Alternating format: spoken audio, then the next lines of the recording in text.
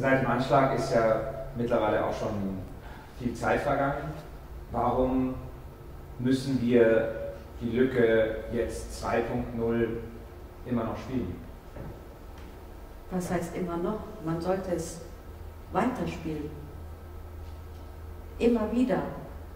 Ja, wir haben die Lücke gespielt.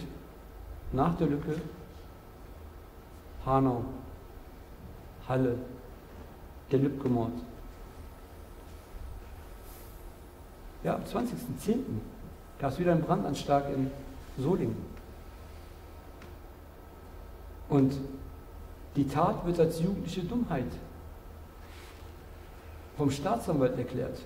Und obwohl es eine Maske, eine Maske gefunden wird, wo es ein Hakenkreuz drin mit Nazi-Symbolen, wird der Rechtsradikalismus erstmal wieder ausgeschlossen. Eine Lücke, von der wir denken, oh, die anderen, die daran schuld sind. Und wer sind dann die, die diese Lücke füllen mit Verbrechen? Lan empatim mempati senin olsun. O zaman o zaman koru beni. O zaman koru şuradaki insanları. İnsanlar ölüyor be. 30 yıldır, 50 yıldır insanlar ölüyor.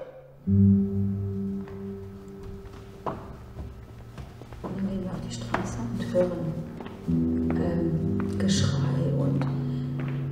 Polizei, dann die Feuerwehr und die ganzen Leute. Und dann siehst du das Blut in den Menschen. Ich bin die Straße hochgegangen, aber mit einem Herzen. Wie im Krieg.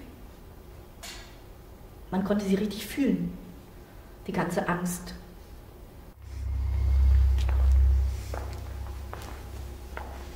In 2014 fand hier auf der Kolbstraße das erste große Festival statt mit dem Slogan Building Dead.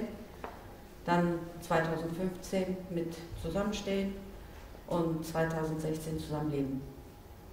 Fantastisch, war alles super schön. Wir haben uns amüsiert, war gut.